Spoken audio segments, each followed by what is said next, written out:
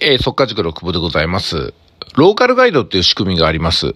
この Google のローカルガイドっていうのは皆さんがご利用の Google マップ。この Google マップの制作、拡大に寄与したものが与えられる称号でございます。まあ称号って言うとね、偉そうなんですけども、これ誰でもできます。で、ちょっと写真投稿したり口コミを書くとすぐにレベル1とかレベル2とかね、レベル3子まではね、本当にスカスカスカスカ行くんですよ。で、難しいのがレベル7から8とかね、8から9なんですけども、この度、私レベル9になりました。で、まだレベル8だった時代、令和4年の4月の最後のレベル8としての活動を振り返ってみようかと思いますんで、よろしくお願いします。えっ、ー、と、レベル9まで99%進みましたって書いてます。現在はもうレベル9になってます。そして今度レベル10というね、最高値に行くまでに、あと5万ポイント必要なんですよね。じゃあ5万ポイントっていうと、今の私のペースだったらどのぐらいのものなのかなって考えてみると、ちょっと下の方行きましょう。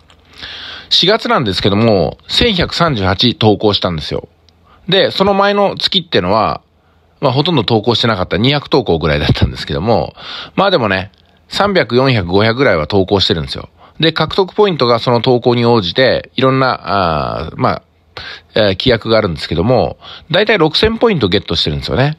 ということは、このペースでいけば、10ヶ月で6万ポイントですから、レベル10に行っちゃうわけなんですよ。まあ、目標としては、令和4年中にレベル10に行きたいなと思うんですけども、ちょっと難しいなと思ってますんでね。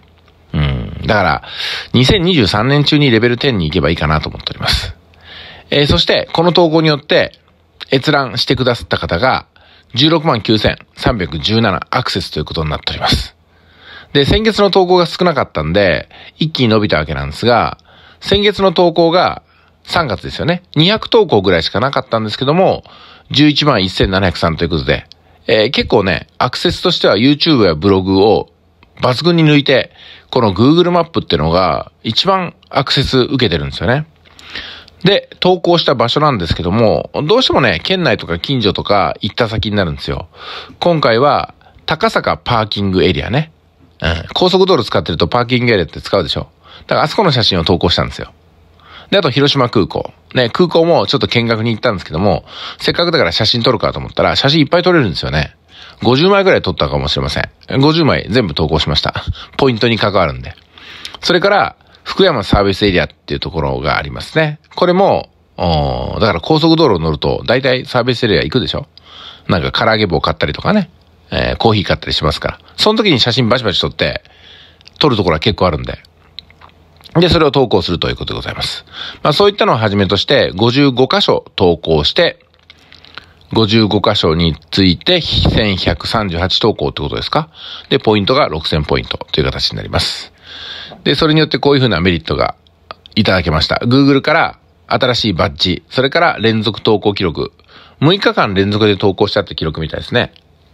まあ、あの、毎日投稿するの結構大変なんで、うん、毎日投稿しなくてもいいんですけども、あれでしたらね、近所の公園とか、スーパーとかショッピングセンターとか、うん、交番とか、学校とか、投稿できますんでね。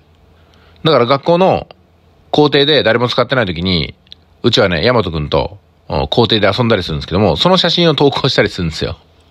それも OK ですからね。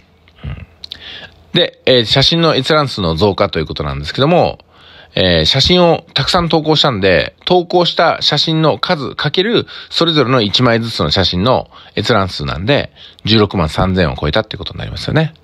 やりましたねっていうふうにメッセージいただいてます。嬉しいな。で、この調子で投稿を続けましょうということでございます。まあこんな感じで Google マップっていうのはただ見る、使うだけじゃなくて、マップを作っていくっていう方にね、ローカルガイドとして活躍する、活動するってことも楽しみの一つです。えー、以上でございます。じゃあ現在レベル9ですけども、レベル10に向けて私も楽しんでいこうと思います。